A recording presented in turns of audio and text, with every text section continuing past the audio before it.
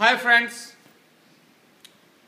मैं हूँ कमाल आर खान, यानी के आर के यानी number one critic of Bollywood one I say am number one means you have to believe me because you know whatever I say that happens that happens अब तुम कहोगे कि सरकार, जवानी दीवानी में तो आप फेल हो गए।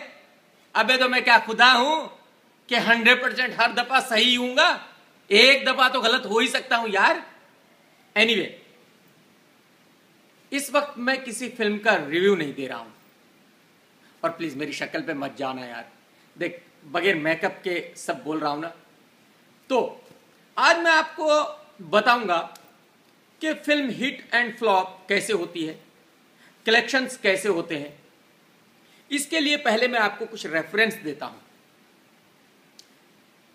दिल्ली के जाने माने डिस्ट्रीब्यूटर्स हैं संजय घई साहब, महाजन साहब, पंजाब के अवतार साहब, बिहार के अभय सिन्हा साहब, राजस्थान के गौरव एंड सुनील जैन साहब, आपके सीपीसीआई के हर्ष जैन साहब हमारे बॉम्बे के प्रोड्यूसर कुमार मंगत साहब, इन सब लोगों से बात करने के बाद, पूरा बिज़नेस समझने के बाद, मैं इस नतीजे पर पहुँचा हूँ, मेरे भाइयों, कि अगर एक फ़िल्म दिल्ली टेरिटरी जो एक टेरिटरी है दिल्ली एंड यूपी पाँच करोड़ का बिज़नेस करती है तो ढाई करोड़ तो चले गए थिएटर्स वालों को और ढाई करोड़ आएँगे डिस्ट्रीब्यूटर के पास। उसके बाद कुछ खर्चे हैं, कुछ पब्लिसिटी, कुछ कमीशन, कुछ ये, कुछ वो। तो टोटल निकाल करके जो प्रोड्यूसर को पैसा मिलता है, वो तकरीबन पाँच करोड़ में से दो करोड़ रुपया प्रोड्यूसर को मिलता है। अब ये थोड़ा अलग अलग हो सकता है।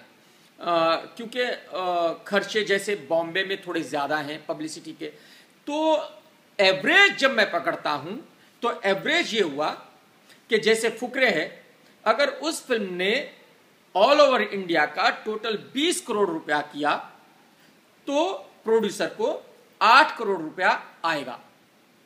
अब, फ़िल्म का बजट है फुकरे का 20 करोड़ तो 8 करोड़ वो आ गया एंड छह करोड़ की सैटेलाइट गई है। एक करोड़ और भी कुछ राइट से आएँगे। तो यानी तकरीबन पंद्रह करोड़ तो आ गए। अब बच गए पाँच करोड़ और। वो पाँच करोड़ कवर करने के लिए आप समझ लो कि कितना बिज़नेस और फ़िल्म को करना चाहिए। तो ये एक मोटा मोटा हिसाब है बट मेरे लिए कोई भी फ़िल्म हिट एंड फ्लॉप कैसे है?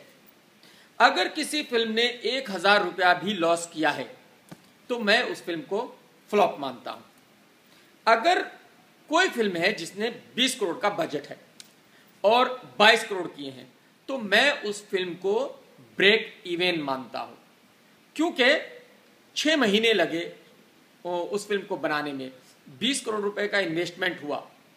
तो वो ब्रेक इवेन ही है। वो इवेन एवरेज भी नहीं है। एवरेज फ़िल्म में उसे मानता हूँ कि भाई 20 करोड़ का इन्वेस्टमेंट था। चलो चार पाँच करोड़ रुपया है चौबीस पच्चीस करोड़ रुपए प्रोड्यूसर के पास है तो वो फ़िल्म एवरेज फ़िल्म है। हिट फ़िल्म में उसे मानता हूँ कि अगर एक फ़िल्म 20 करोड़ की है तो प्रोड्यूसर को वो 20 करोड़ रुपया सिर्फ़ इंडियन थिएट्रिकल से आया है। तो प्रॉफिट हो गया सैटेलाइट इंडिया वीडियो ओवरसीज ये, वो सब बाकी प्रॉफिट हो गया। वो फ़िल्म हिट है। जैसे आशिकी थी। आशिकी का पब्लिसिटी के साथ मिलाकर तकरीबन 20 करोड़ का बजट था। उस फ़िल्म का थिएट्रिकल से ही उनको तकरीबन 30 करोड़ रुपए आएगा। सैटेलाइट ओवरसीज म्यूज़िक ये, वो, बाकी तो सब प्रॉफिट है। सो दैट फ़िल्म इज़ सुपर हिट तो मेरे भाइयों, इस तरह से फ़िल्म हिट एंड फ्लॉप होती है। Bye bye take care